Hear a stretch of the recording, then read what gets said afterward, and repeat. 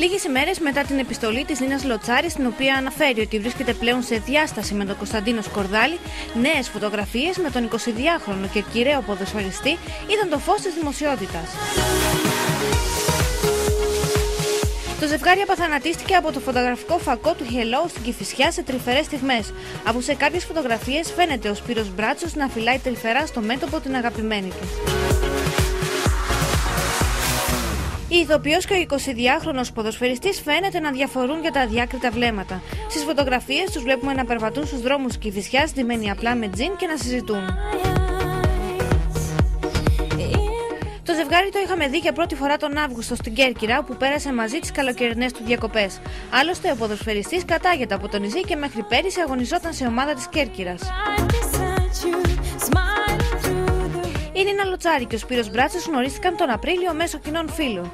Οι φήμες για προβλήματα στο γάμο της ηθοποιού και του Κωνσταντίνου Σκορδάλη είχαν ήδη αρχίσει και ενισχύθηκαν με τις φωτογραφίες που κυκλοφόρησαν το καλοκαίρι, αν και κανένας από τους δύο δεν επιβεβαίωνε τον χωρισμό.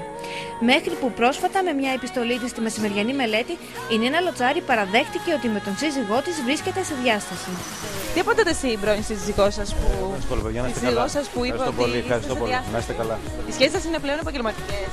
Κανένας σχόλιο, να είστε καλά, ευχαριστώ. Η σχέση της ηθοποιού και του Κωνσταντίνου Σκορδάλη είναι πλέον επαγγελματική.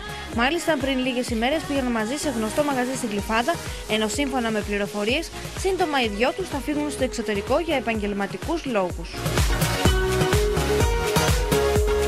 Πάντως σας είδαμε είστε καλά, είστε μαζί και καφέ. Κανένα σχόλιο. Ευχαριστώ πολύ, γεια σας. Μέχρι στιγμής η Νίνα Λοτσάρη δεν θέλει να κάνει κάποιο σχόλιο για τις φωτογραφίες που έχουν δει το φως της δημοσιότητας. Παρατείνεται μέχρι τις 28 Σεπτεμβρίου η υποβολή των περιοδικών δηλώσεων ΦΠΑ.